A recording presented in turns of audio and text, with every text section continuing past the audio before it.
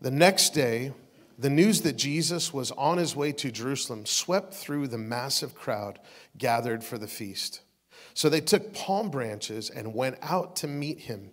Everyone was shouting, Lord, be our Savior, or Hosanna. Blessed is the one who comes to, to us, sent from Yahweh, the King of Israel. Then Jesus found a young donkey and rode it, rode on it to fulfill what was prophesied. And this is in the book of Zechariah. People of Zion, have no fear. Look, your king is coming to you riding on a donkey. Now, Jesus' disciples didn't fully understand the importance of what was taking place, but after he was raised and exalted into glory, they understood how Jesus fulfilled all the prophecies in the scriptures that were written about him. Isn't that powerful? One of the things I want to talk about is the passion of their worship. And I want to talk to you just a little bit about passion for a moment. Um, I don't know about you, but I could feel a passion stirring in worship today. And there's some beautiful imagery of the palm branches. Some of the Old Testament feasts, they would actually take different types of palm branches and they would tie them together and they represented different things. But what the priest would do in one of the Old Testament feasts is they would take the palm branches. It wasn't this feast, though, it was another time during the year, but they would, they would take the, the palm branches and they would declare from the north, from the south, from the east to the west, the dominion of heaven. And it was a proclamation of God's kingdom reigning in the earth. And what's beautiful about this is the, the, the praise and worship of, these, of the people that were receiving Jesus were literally uh, proclaiming the dominion of King Jesus in that moment.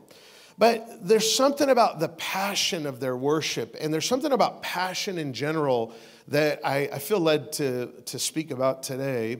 And we're going to be looking at um, just quickly three things that Jesus was passionate about. I don't know about you, but I'm passionate about a lot of different things, and some of them more than others. And how many know it's important to discover what you're passionate about? Right? Sometimes it will help us discover what we're designed for. Um, in fact, sometimes we'll do things that we're good at, but we hate and we're not designed to do them. If we do things that we're passionate about, they'll make us come fully alive. Sometimes we literally have to sacrifice things that we're good at to do what we're designed for so we can do what we're great at. And, and discovering what you're passionate about is a clear indicator of what you're created for. It's almost like God's fingerprint on your life and, and so, what is it that makes you come fully alive? And, and we're going to talk about this. I, I, don't know about you, but I'm passionate. And this is, I'm kind of joking. And of course, this is, I mean, you know, people take wagers in the back, like how soon until Pastor Zack talks about food in his sermon. Um, and uh, pretty much the odds are in favor of me. Yes, I will mention food at some point. Not every Sunday, but a lot of Sundays. I like food. I'm passionate about food. I remember some lady one time I was enjoying this Thai food, and this lady's like, you know, I just I'm watching how you are enjoying your food. At first, I'm thinking like, don't call me fat, bro. Like seriously, don't, you know. Um, and I'm eating and enjoying myself, and and she goes, you know, it's a sign of intelligence when people enjoy their food. I'm like, amen. Praise God. The other day, we were uh, eating uh, at our house, and we had some people over for dinner. And, and Tom was over, and Tad was over, and we had some music going, and we're just cooking in the kitchen and just hanging out. Man, you remember that? And the ladies are at the table gossiping, I mean, talking about Jesus. And and there's something about just coming together around a table. I'm passionate about that. I do enjoy the taste of food. I enjoy how it nourishes us. Sometimes I'll eat Thai food that's too spicy and I pay the price later. It's called the ring of fire. Don't think about it too much, but like, I love food. Uh, and, and, I love, there's a lot of things I love. I, you know, I love uh, not going to Disneyland. Praise God. Amen. I'll, I'll just skip right through that one. Um, I'm passionate about justice. Like, there's something the way God made me where, like, I don't like lies. I don't like, like, my kids can tell you, when they're little and they lied, they were in big trouble. Like, David could punch the neighbor kid, and I'd be like, good job, buddy. But if he lied to me, he's getting a whooping. Of course, I'm exaggerating. He would not punch the neighbor kid unless the neighbor kid called his sister a name. That'd be different, right? But I'm passionate about justice. Like I want, I want truth to prevail. Like when I see somebody oppressed that, that shouldn't be oppressed, oh man, like I, I, like no, there's an emphatic no inside of me where I want to see righteousness prevail and truth come forth in a situation. I'm passionate about my family. As you know, I talk about my kids all the time, and I can't help to talk about my kids. I love my kids. I'm a father, it's who I am. And, and my love for my wife and my kids are an expression of the love that God gave me. And, and the same thing with you, like you're a business owner, or whether you, you know you have a, a marriage or your friends, the family of God around you, the way you relate to one another, the way you love, that is an expression of the love of God in us. Like there are some of you here that own businesses and you're it's like God's given you the heart of a pastor. I think about Tom. Like you you don't realize maybe, but there's a heart of God in you that's like a pastor. And you create an environment for your employees where they can come together and you take good care of them. That's what a shepherd does. And so coming alive in what we're created for will help us walk in our passions uh, when we recognize what they are. I'm passionate about my wife and my kids, though. I, I, I love bragging about my kids, and you can't stop me. And the father's the same way. You know, he loves bragging about you. My spiritual father always says, if God had a refrigerator, your name would, your picture would be on it. Your picture would be on it. And you're his favorite, every, each and every one of you. I don't know how he does it, but he can do it. I tell my kids that. I'm like, you're my favorite. I'll whisper to Layla, Layla, you're my favorite. Don't tell the other kids. And then she'll tell me, Daddy, you're my favorite. Don't tell the other kids. she actually uh, is in dance competition right now. Um, I had to pay my wife money to be here at church. She loves the Lord, but she wanted to be there. But she's here. My, my, I'm just kidding. I didn't really have to. Well, maybe I do. I don't know. Do I owe you money for this? Okay. But my daughter, listen to this, man. I got to brag on my daughter. She did a competition the other day out of like 60 plus girls she won first place for her solo. First place overall. Come on, she's brilliant. She's so good. And, and it's not just something she's good at, she's actually passionate about it, makes her come fully alive. So fully alive that she runs around and does aerials and all kinds of things all around the house. If I hear boom, boom, boom, boom, I know it's not the boys wrestling, although Josiah wrestles, eh, but I, it's Layla doing aerials in the living room. But she won first place overall. What a proud dad moment, right? And my mom, or my mom, my wife's crying, and uh, sometimes I feel like you're my mom. Praise God. and you tell me what to do, uh, everything. I, uh, I'm kidding. That's a bad moment where I get distracted. but she won first place for her uh, for the, her category and overall. It was amazing. And some of you had heard, I, I actually uh, bragged on this already, so did my wife. My, my Josiah uh, won first place in uh, JV Monroe County for wrestling. And there's only been three that Churchville have won. Three out of, out of all the years that Churchville's wrestling in JV in Monroe County. And my son got to win. He won his first year wrestling. Like, listen, I'm telling you, and, and what's cool about it is as a father, I'm behind my kids' passion. But here's what it is with the Lord, not only is He behind your passion, He actually put it in you.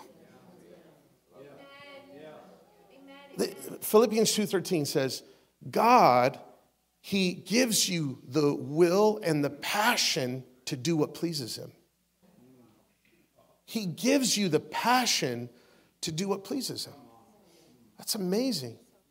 Like, there are so many things I'm passionate about. Um, you know, I'm passionate about my marriage. Like, it's so important as fathers or, or as husbands to, to make sure that you cultivate your oneness with your bride. And, and I'm so passionate about seeing my family whole and, and sitting at a table and uh, us coming all together. You know, my son wrestling, I, I do have to say though, believe it or not, I used to wrestle in high school. Why was there no, no one like said, yeah, I could tell. Believe it or not, I actually used to run like 20 miles a week. I know you're shocked. I know you're greatly shocked. Um, I, I, I, do have to tell this joke though. Have you ever, do your clothes talk to you? Does anyone here have their clothes? I opened the drawer the other day and my swimsuit was like, get a, get a gym membership. Like they literally, My swimsuit told me to get a gym membership. I was so offended. My swimsuit, and then I had another swimsuit. It's like, lose weight. Like, what in the world? So I opened up another drawer. My sweats looked at me. You look good, boy. Come on, somebody.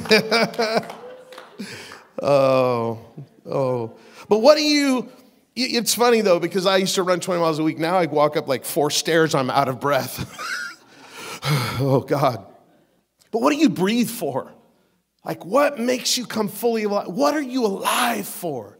What makes you like do what you want to do and do it great and do it not just good, but come fully alive and do it better?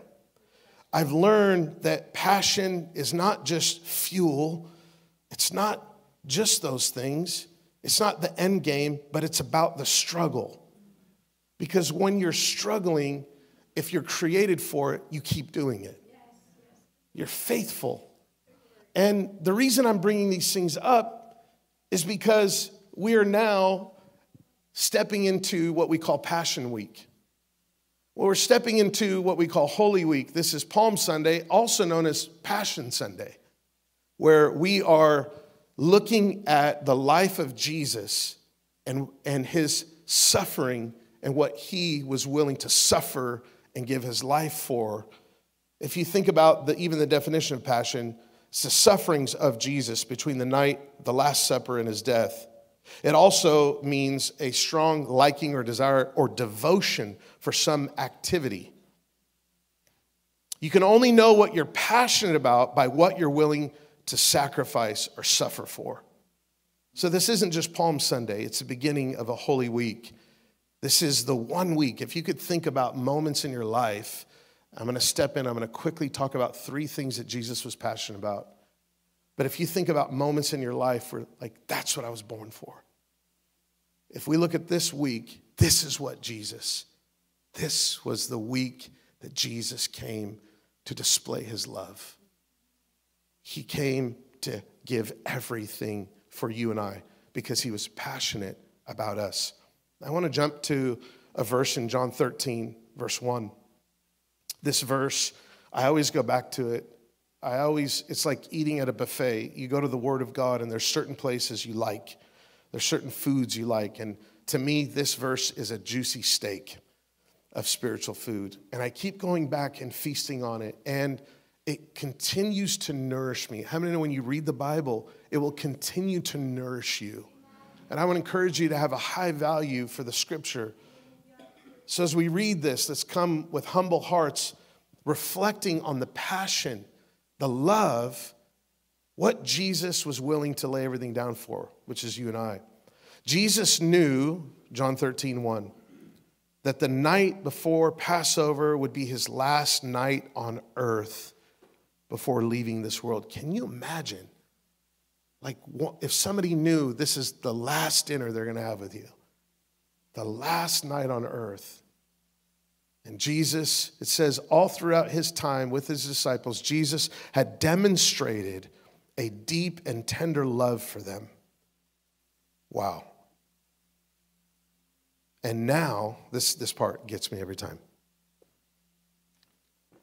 And now he longed to show them the full measure of his love.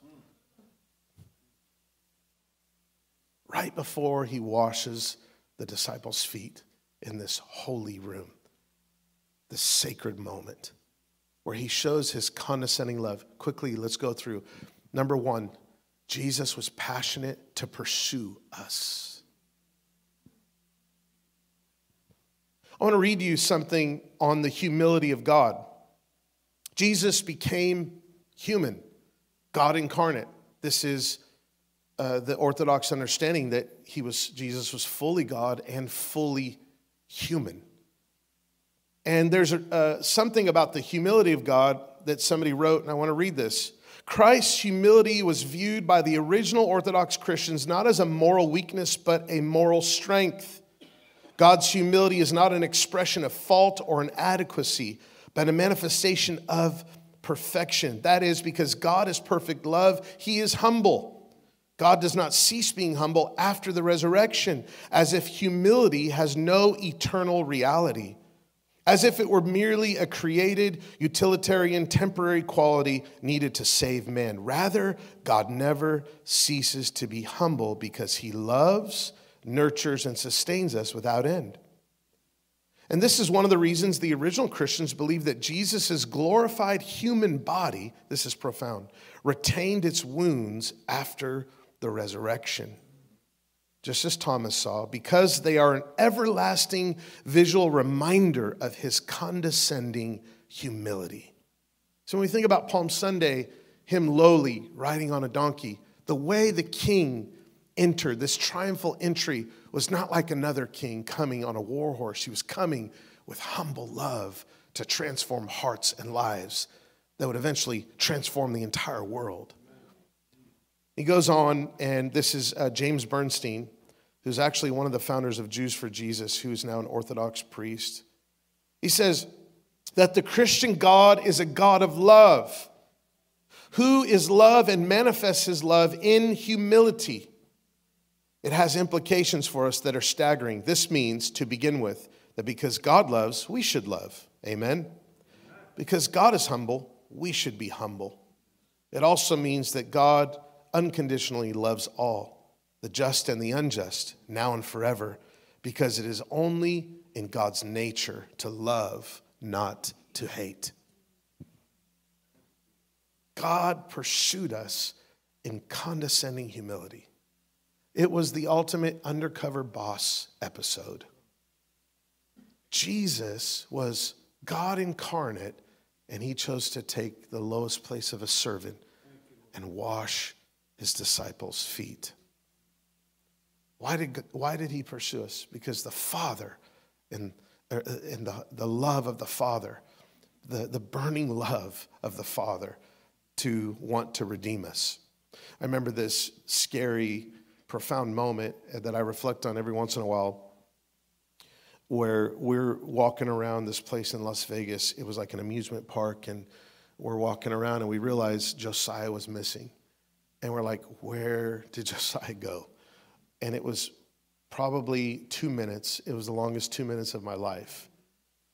And the pursuit and the love and the fierceness in my heart and in my wife's heart to pursue our son that we love in that moment was unfathomable. I cannot even tell you.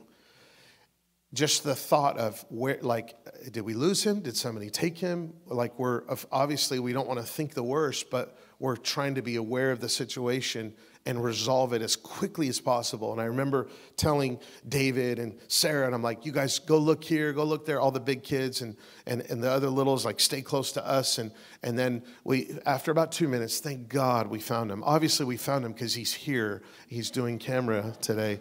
Um, amen. He just won wrestling. I told you the story. He's here. Okay, that's spoiler alert. But um, we found him, and he was over by the swords like playing with the swords in one of the stores. I'm like, that's what Josiah would be doing. But the fierceness of our pursuit could hardly compare to the pursuit the Father has for you and I.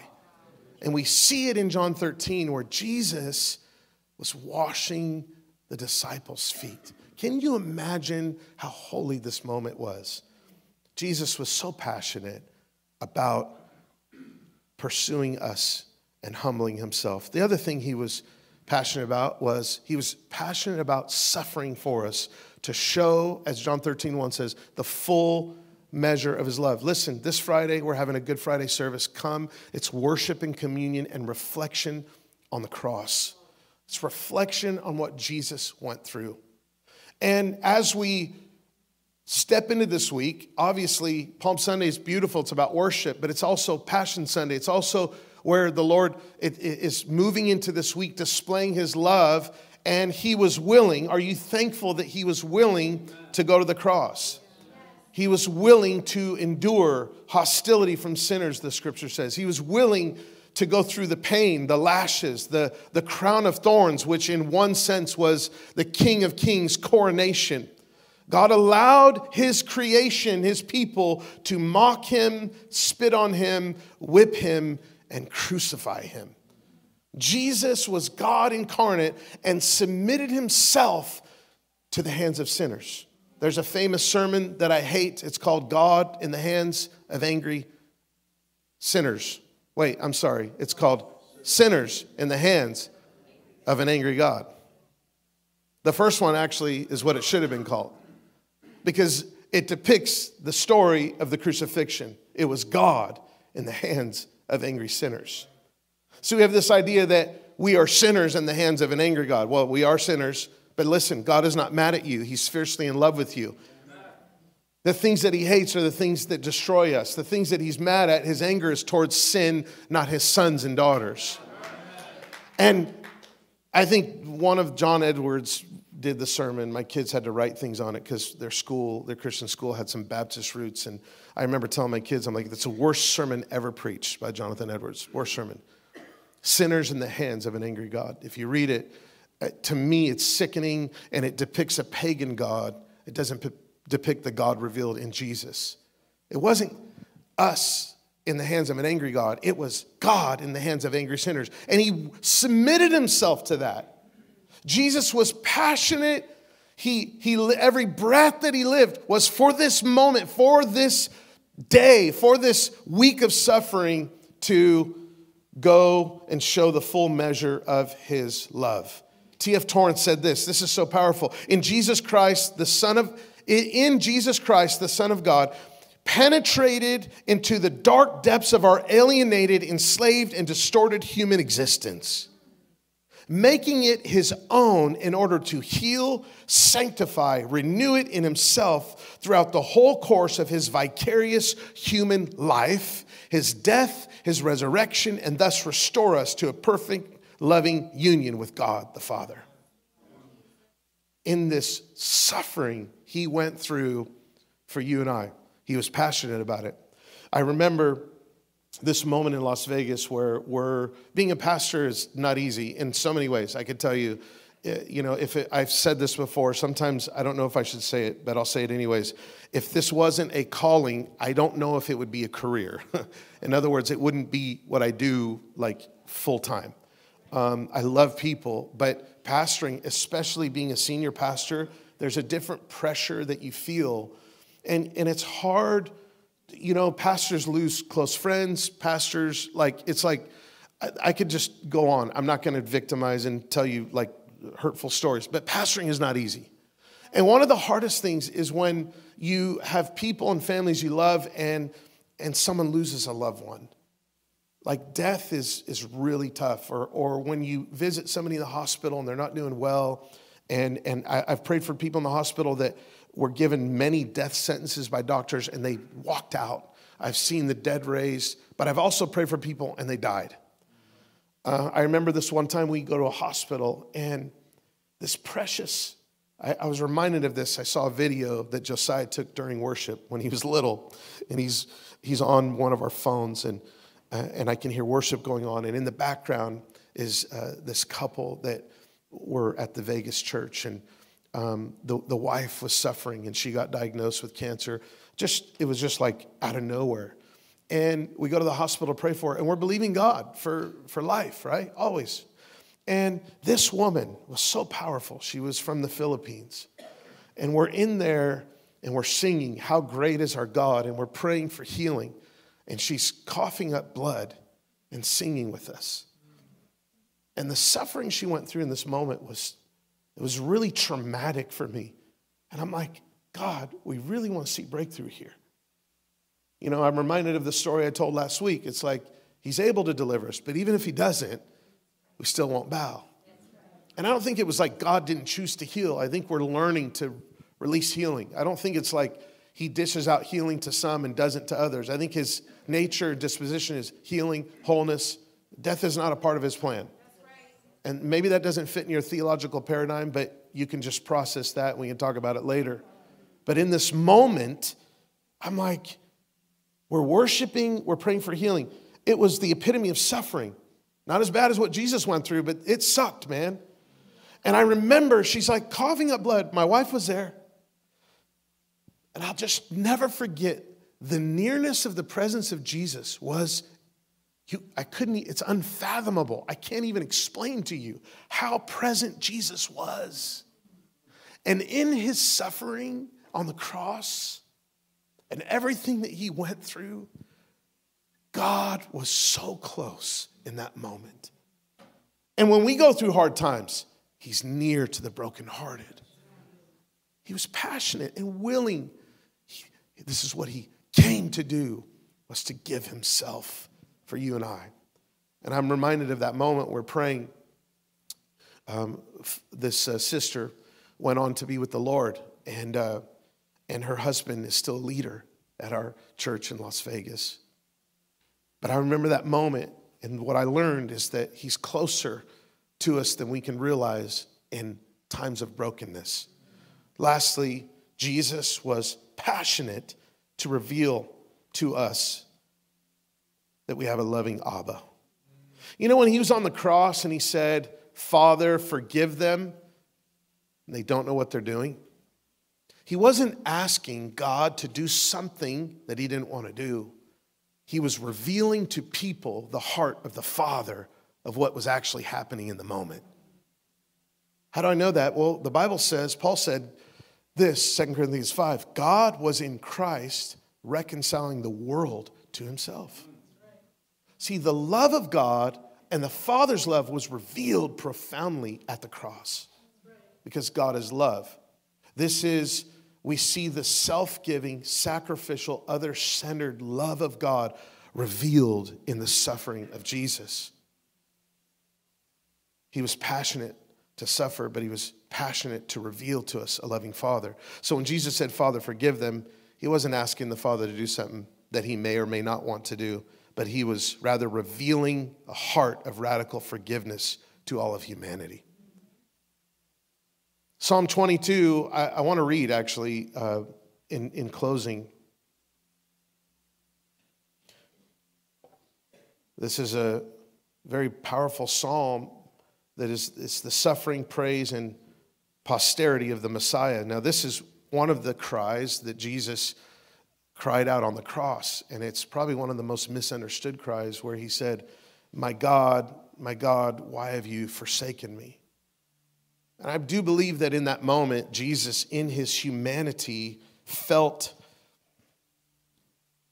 what it felt like to, to not have the presence of God like to feel like God was not present. But that doesn't mean that God forsook him, because in his divinity, Jesus, being one person, was both, had two natures fully divine, fully human. Not 50 50, but fully human, fully divine. So in his humanity, he may have felt like he was forsaken, but you can't separate the Trinity. And one of the reasons, and I'll just encourage you, you can search that on your own. The ancient church never believed that the Father actually forsook Jesus. I've, I've heard people say, and I'll, challenge it, I don't believe it. I've heard people say, well, he forsook him so that we won't be forsaken. No, it's not in God's nature to forsake, even his own son. Even the idea that, well, he looked away because God can't look upon sin. It comes from one verse in the Old Testament where the prophet is saying, Why do you behold this? Like, you cannot look upon sin, then why are you beholding it? It it's so silly because if you read the next verse, the prophet is saying, You're actually watching this happen. That's the language. It's not that God is not able to look at evil or sinfulness, He sees it all. Hello? If God can't look upon sin, then you're denying that Jesus is God because he sat across the table from sinners.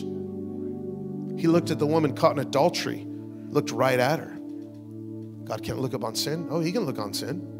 So we have these misnomers in scripture. So when Jesus cried out, My God, my God, why have you forsaken me? He wasn't, he, he was actually quoting Psalm 22 in the first century when somebody would say the beginning of a psalm, it would be like you and I today saying, Psalm 22. Or Psalm 23. And matter of fact, if we say, The Lord is my shepherd, I shall not want, immediately you resonate with that. You hear that read at funerals. It's like, Well, I know that psalm. How many know that psalm? And what is that psalm about? It's about the love, the comfort, and the provision of God as a shepherd.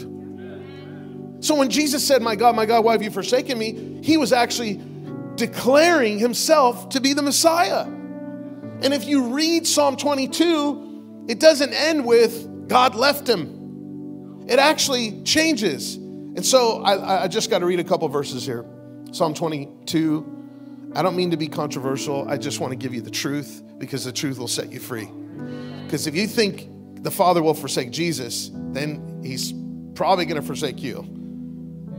I mean, there's even though he did it for us, it's like in our minds, there's still something entrenched in our mental understanding of who God is, where it's like, ah, he's a good father, but there's there's that but in there, but there is there is no if there. There's no, it's like what Jesus revealed, that's who God is. There's no God hiding behind Jesus. And, and I have news for you. Jesus did not come to save you from an angry father. He came to magnify the fiery love of an Abba that saw a broken humanity and said, I will go as far and as long and what I'll do whatever it takes to rescue this broken humanity. That's the gospel, church.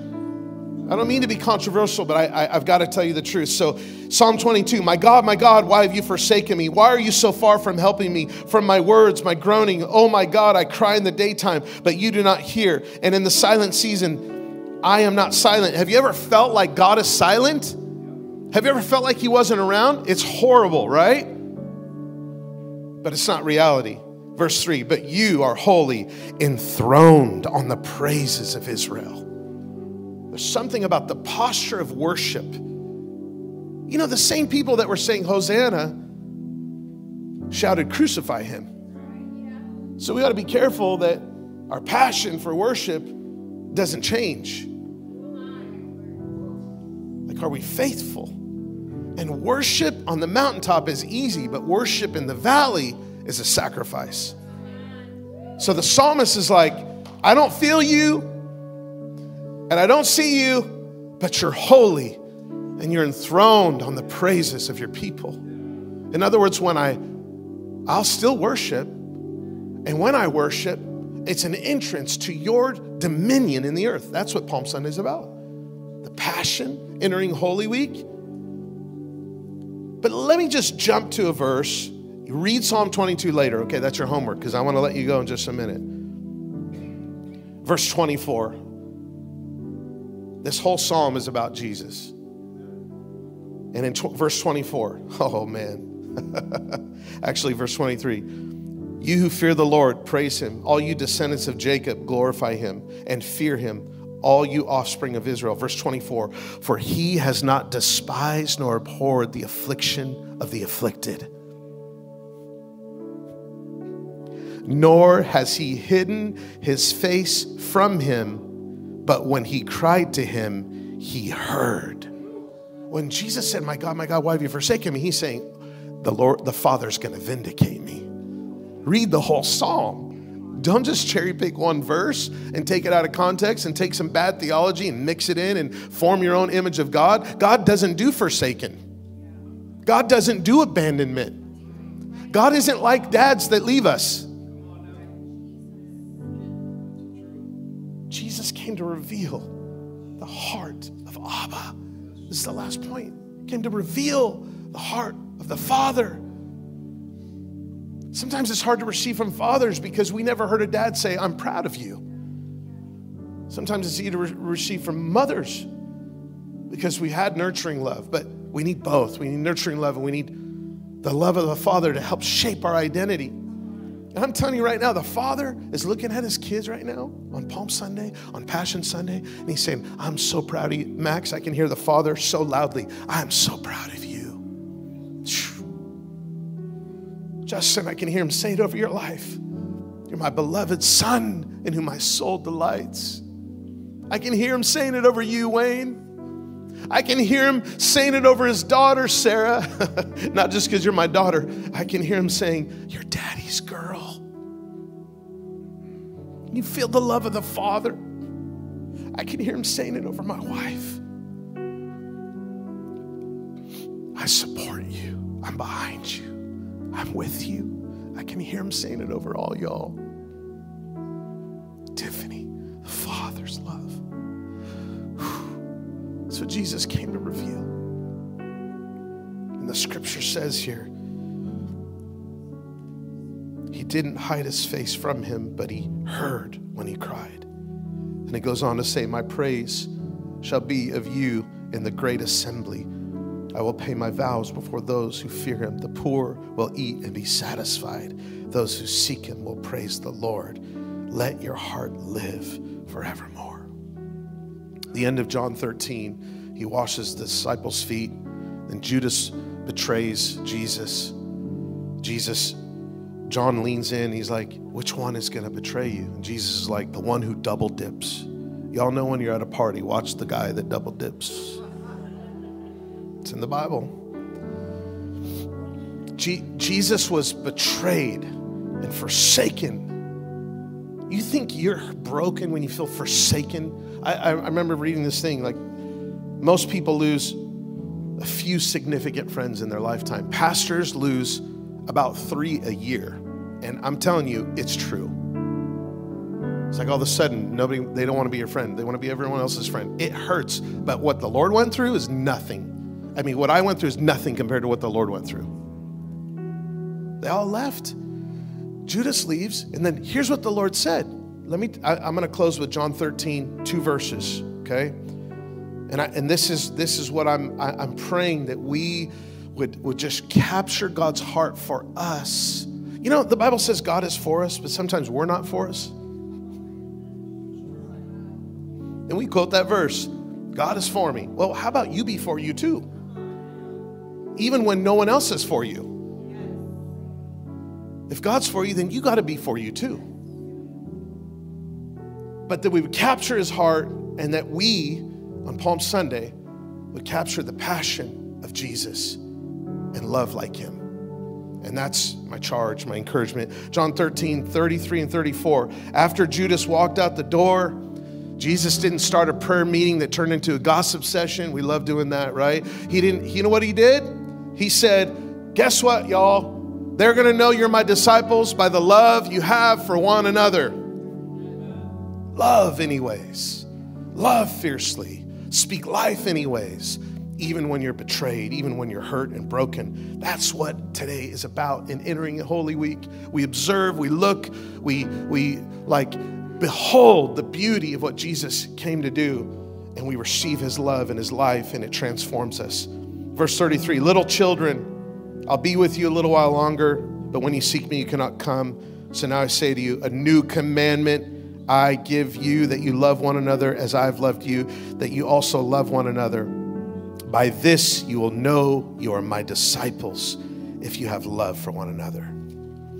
Jesus showed the full measure of his loved, his love. He always displayed love everywhere he went. I don't know about you, but I want to do the same. And in order for me to do the same, I got to receive his love. Amen. Will you stand up with me? You know.